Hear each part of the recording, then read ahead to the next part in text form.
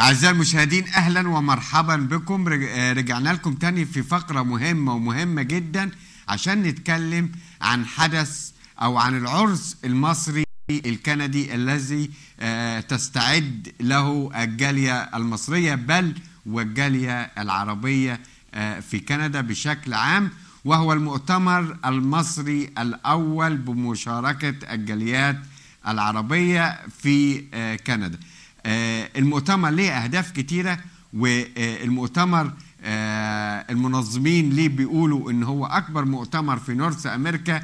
إحنا نتمنى له إنه يكون أكبر مؤتمر على مستوى آه، المهجر بشكل آه، عام ونتمنى له انه يكون وسيلة فعالة وقوية آه، اولا دعم وترابط الجالية المصرية والجالية العربية في كندا ثانيا لدعم آه، مصر ولدعم المصريين بشكل عام ولدعم قضايانا في المنطقة العربية بشكل آه، أكبر. معانا آه، الدكتور هاني شنودة رئيس اتحاد نشطاء آباط كندا المنظمة التي تنظم هذا المؤتمر. دكتور هاني إزيك أيوه أنا سامع الصوت بعيد شوية. أهلا أهلا أهلا أهلا بيك. أنا سامعك كويس يا دكتور وصوتك آه، وصوتك كويس.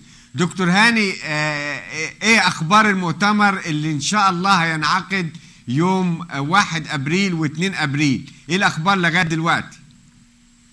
آه، المؤتمر ماشي بإذن ربنا زي الترتيبات. آه، يوم الجمعة هيبقى آه، ورش عمل لمناقشة القضايا المطروحة. آه، وده في اي بي بالدعوات فقط. ويوم السبت هيبقى عشاء لتكريم الضيوف وتكريم الناس اللي جايين من آه، بلاد مختلفة. أيوه. آه، وهيبقى في آه، برنامج ليوم السبت كمان اللي هو مفتوح لل للبابليك يعني. وهيبقى آه، في آه، في البداية بتاعت اليوم هتبتدي من الساعة 5 بعد الظهر. آه، في Lakeshore Convention Centre في ميسيساجا آه، هيبقى في في الأول discussion panel للناس مع ال- الضيوف بحيث يتناقشوا في القضايا المطروحة في برنامج المؤتمر. وبعدين هيبقى الفترة بتاعت آه، العشاء وال speeches بتاعت الضيوف. وهيبقى آه، من 7 ل 9 فترة العشاء والسبيتشز وبعدين من 9 هيبقى في فقرة أخرى للأسئلة والإجابات آه، على كتيره في دكتور هاني ده برنامج ال- الحفل اللي حضرتك قلته. يا ترى السبت من خمسة لسبعة تقريبا. وأي أسئلة خاصة ب آه، آه، القضايا المطروحة تكون عند الضيوف يحبوا يتناقشوا فيها. فبإذن ربنا يوم الجالة هنا آه، هيبقى برنامج طويل شوية يبتدي من الساعة 9 من الساعة 5 بعد الظهر ويخلص آه، على حوالي 5 10 12 11 آه، فهيبقى برنامج كمان آه، يعني مليء بال- بالأحداث. دكتور هاني حضرتك حضرتك اتكلمت عن الفقرات بتاعه ال- المؤتمر. دكتور هاني يا ريت تكون سامعني. دكتور هاني بتسمعني؟ آه، الكنديين دكتور هاني بتسمعني؟ لو سمحت الاستديو يتأكد إن الدكتور هاني سمعني. أنا سامعك كويس قوي آه, آه, آه حضرتك اتكلمت عن ال- الفقرات ال- المؤتمر. كنت عايز آه بصفتك رئيس اتحاد نشطاء آباط كندا ال- ال- المنظمة الداعية للمؤتمر تقول لنا إيه هي أهداف المؤتمر إيه اللي خلي إيه اللي خلاكم تعملوا مؤتمر في الوقت دوت وتجيبوا آه، المجموعة الكبيرة اللي جاية من مصر وتدعوا لهذا المؤتمر بشكل آه عام؟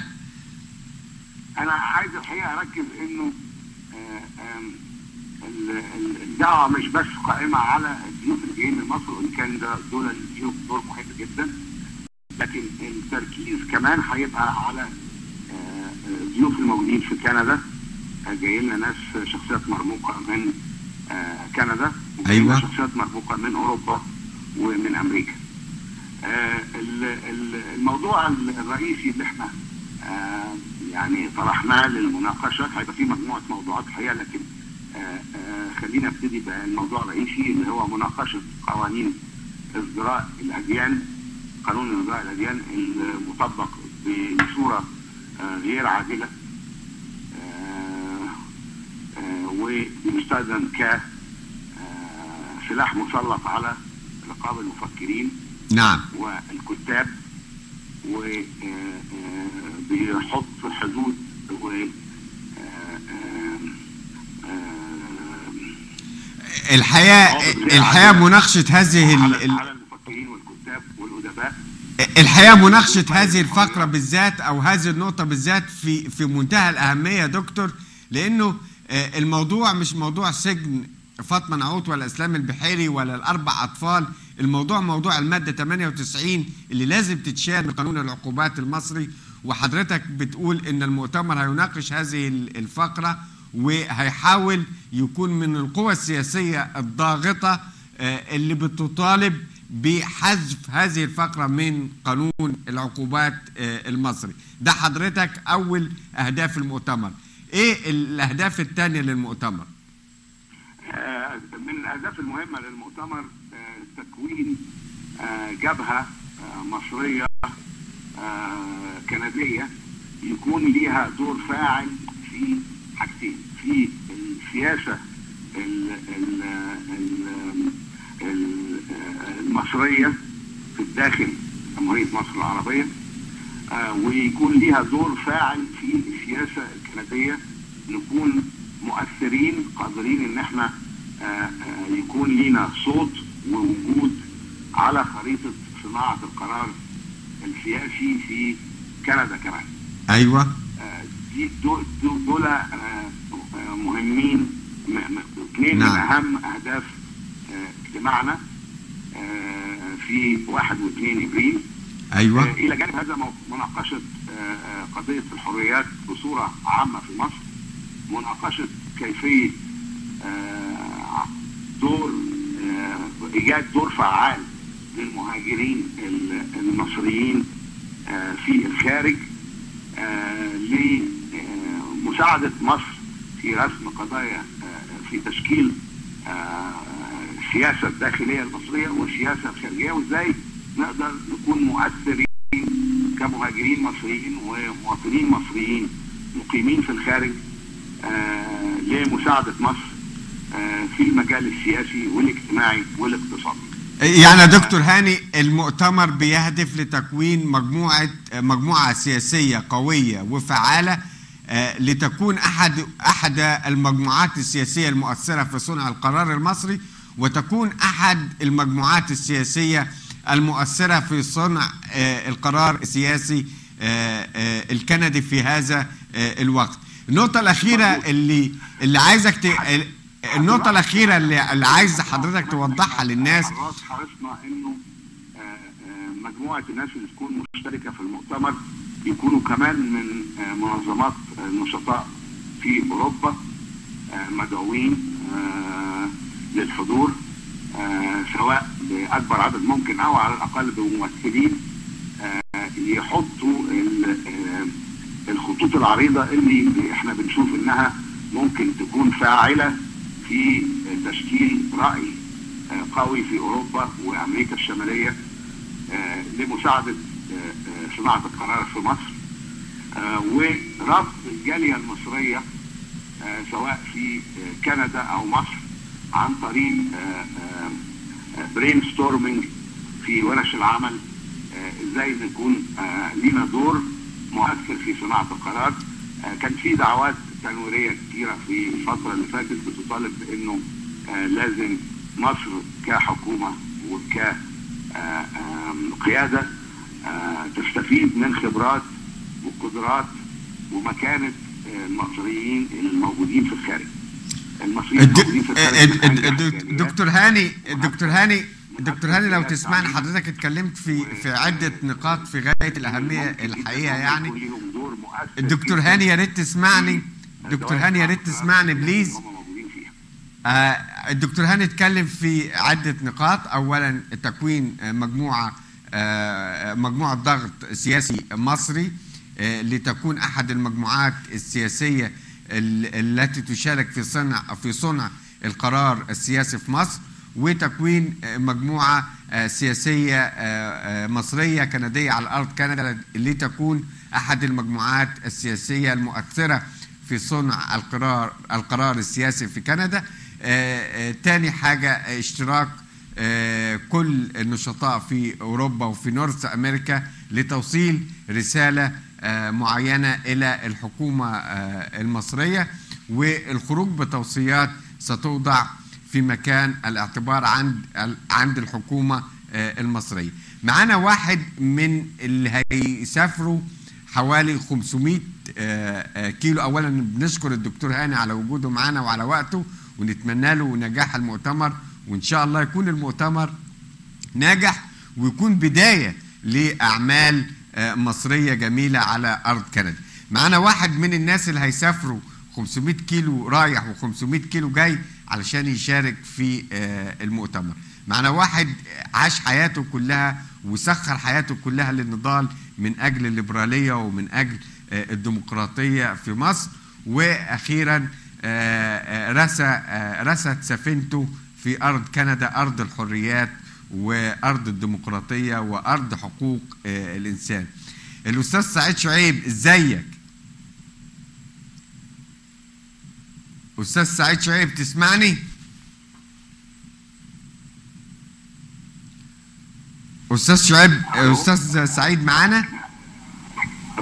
أيوه أستاذ سعيد إزيك؟ أهلا بيك صوتك بعيد قوي أهلا بيك إزيك أستاذ سعيد حضرتك جاي من أوتوا لتورونتو علشان تشارك في آه، المؤتمر. اولا جاي آه بس صوتك بعيد آه، تسمعني يا أستاذ سعيد؟ صوتك بعيد طبعا. آه. طيب آه لو, تسمعني يا أستاذ سعيد يا ترى آه طبعا كده. طيب. يا ترى آه إيه رأيك في تجمع مصري بهذا الشكل على آه أرض كندا؟ إيه رأيك في الفكرة؟ الفكرة طبعا أكيد عظيمة. واخد بالك إن إحنا يعني ندعم الدولة المصرية؟ دي فكرة عظيمة جدا جدا يعني. واخد بالك ندعم الدولة لا ندعم نظام حكم ايا كان. واخد بالك؟ وما. نوعش الفخ لا معارضة هذا النظام ولا تأييده نعم. لكن الأهم هو دعم الدولة المصرية. صحيح. محتاج ينتقل من خانة ان هو بروباجندا يتم استخدامها سياسيا لصالح النظام ده أو لصالح النظام ده. لصالح دعم الدولة المصرية اللي إحنا كلنا بندافع عنها واللي المفروض كلنا نحميها. نعم. مش نظام الحكم. لكن الحقيقة يا أستاذ سعيد لو تتفق معايا إنه أي دعم للدولة المصرية في ذلك الوقت يعتبر دعم للنظام وأي صوت معارض للدولة المصرية في ذلك الوقت يعتبر دعم أو بيتاخد على إنه دعم لجماعة آه، لجماعة الإخوان المسلمين. انت حضرتك آه، أنا متفق معاك ان إحنا آه، اتفاقنا واختلافنا آه، مع اي نظام يحكم البلد هو من أجل مصر نتفق مع هذا النظام أو نختلف مع هذا النظام. ولا مبارك ولا غيره. لا مش أشخاص. مصر أكبر من الكل يعني ان أنا عارض السيسي ده أمر عادي جدا يعني مش فيه حاجة. يعني وكونك تأيد السيسي ده أمر عادي. يعني هذا ده اختلاف وجهات النظر لكن الذي لا يختلف عليه هو الدولة المصرية. الدولة المصرية ديت اللي إحنا المفروض كلنا نقف جنبها وندعمها ونحميها لأنها هي اللي حاميانا كلنا. ده صحيح ومصر أكبر ومصر أكبر من الكل ومصر أكبر من كل الأسماء وكل الأسماء سترحل وسيبقى آه، الوطن. ومن أجل مصر نتفق مع أي شخص ومن أجل مصر قد نختلف مع آه، أي آه، شخص سواء هذا الشخص في الحكم أو بره آه، الحكم وده مبدأنا في المهجر من سنوات سنوات طويلة. وأتذكر إن إحنا في سنة على ما أعتقد 2008 لو حضرتك تفتكر الحرب ال- الحرب الإسرائيلية كانت في غزة تقريبا 2008 أو 2009 وكانت مجموعات ضغط كبيرة بتحاول تضغط على مبارك علشان يخش الحرب. وساعتها كنا بنساند النظام المصري وبنقول وبنقول إنه آه، جيش مصر لحماية أرض مصر فقط. وكنا متفقين مع مبارك برغم اختلافنا معاه في كل في نقاط كتيرة لكننا كنا متفقين معاه في هذه النقطة. آه، أستاذ سعيد ال- اللي خلى حضرتك تبدي مشاركتك في مؤتمر كهذا وإنك أنت تتحمل مشقة السفر آه، 500 كيلو علشان آه، وتسيب مصالحك في أوتوا وتيجي تحضر هذا المؤتمر في آه، تورونتو؟ اولا يعني لأن هو في توبك يهمني جدا مش متعلق بس يعني قراءة الأديان دي مدخل للحريات الدينية في مصر. أيوة. وأنا مهتم بالحريات الدينية طبعا يعني مهتم بالإسلام السياسي وبالقضيه ديت يعني. وأعتقد إن أنا عندي كلام مهم في المسألة دي. آه، فمسألة ازدراء الأديان دي وش القفص؟ يعني زي ما التعبير المصري بيقول وش القفص؟ لكن هي تعبير عن غياب الحريات الدينية في مصر مش بس في مواجهة المسيحيين لكن في مواجهة كمان المسلمين وفي مواجهة كل بقية المصريين. لأن واحدة من الأكاذيب الكبرى اللي إحنا بنعيشها في مصر أو كتير بيرددوها إن مصر فيها مسيحيين ومسلمين بس ودي اكذوبه كبرى. لا مصر فيها أديان كتيرة وفيها معتقدات كتيرة وفيها ملاحده وهي حتى حتى على مستوى المس... حتى على مستوى المسلمين الشيعة.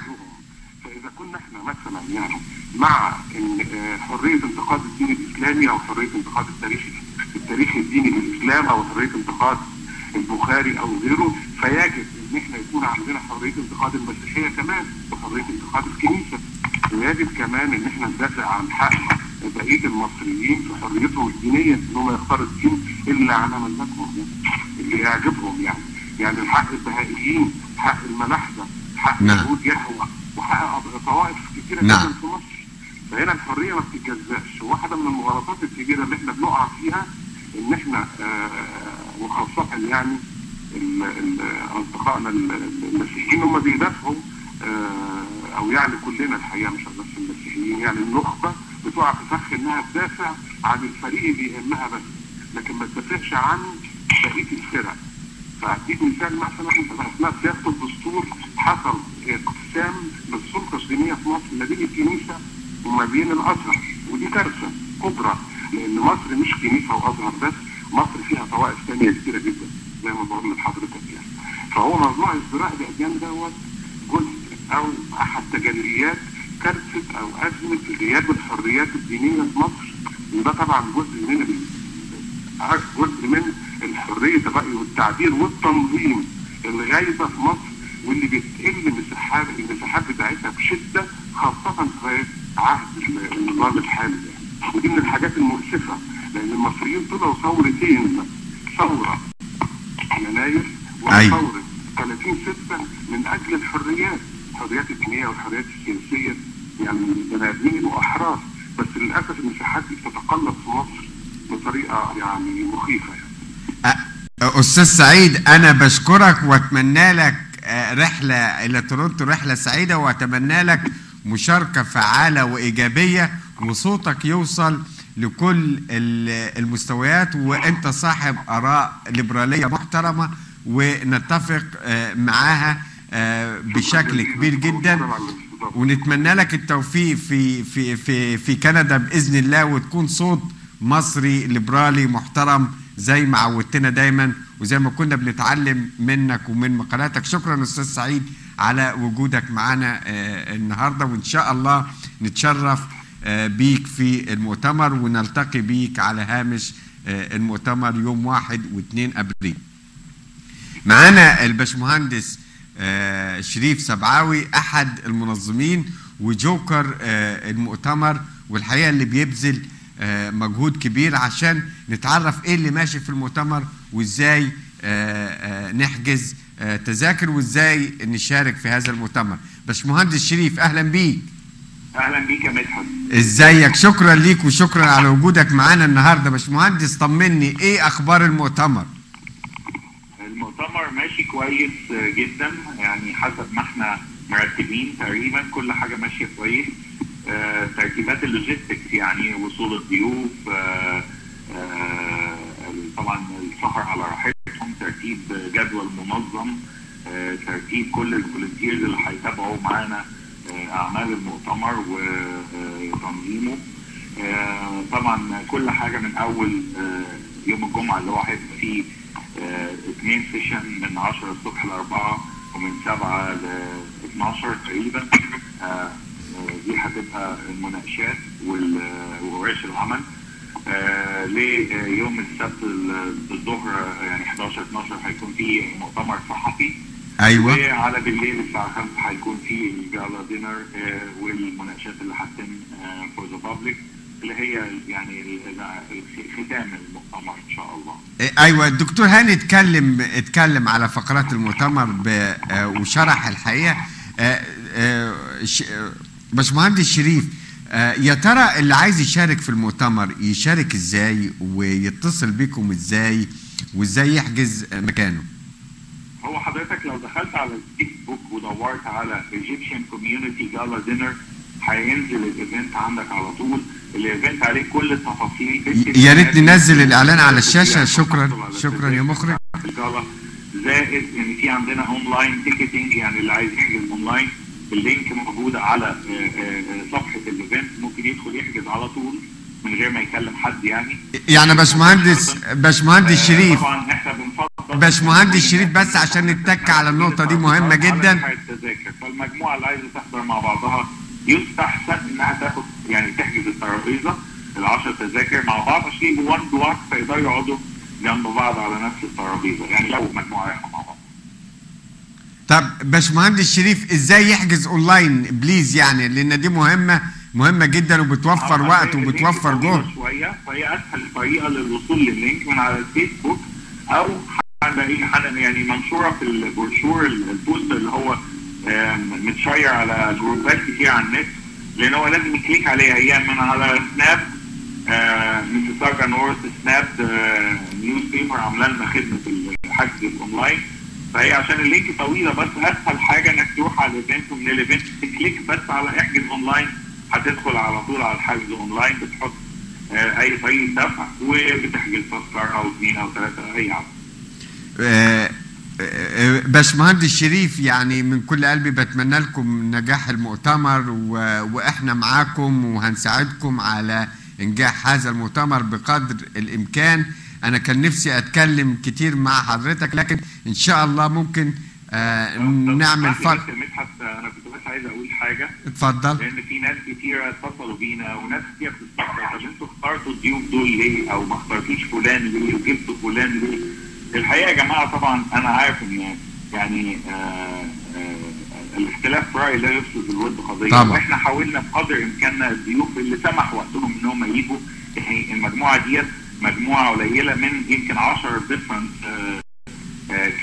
dignitary إحنا اتصلنا بيهم وقتهم ما سمحش سواء بقى وقتهم لأنهم عندهم ارتباطات أخرى وقتهم ما سمحش إن هم ياخدوا الفيزا and so فاللي إحنا بنقوله اللي إحنا بنقوله إيه؟ إحنا بنقول للناس يعني شاركوا وتعالوا وهيبقى في ايفنتات تانية في المستقبل واللي عايز حد معين أو في interest معين آه يقول لنا وبإذن الله هنحاول نجيبه. بس لازم ال event ينجح عشان ده يشجعنا إن إحنا نعمل إيفنتات تانية ونجيب آه كل الضيوف اللي أنتوا لا ده. يعني موضوع إنك انت موضوع إنك أنت تجيب حد من مصر ده موضوع مش سهل جدا. مش سهل ابدا. المرة اللي جبنا فلان وفلان المرة الجاية نجيب فلان وفلان المرة اللي بعدها نجيب فلان وفلان. ساعدونا لأن الايفنت لازم ينجح فنقدر نعمل غيره. أشكرك. طيب.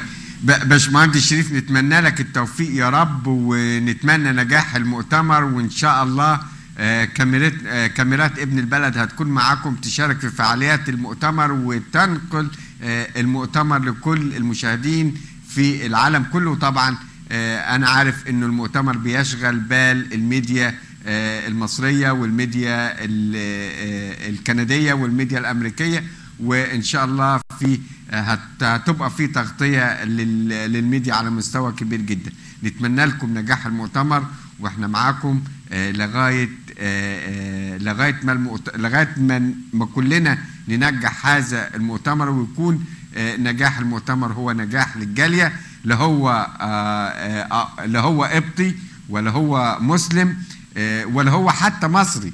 ال- المؤتمر شامل آه، الجالية العربية بشكل عام ولا هو Liberal ولا هو Conservative ولا هو NDP المؤتمر لكل الجالية العربية في كندا بمختلف انتماءاتها آه، الحزبية.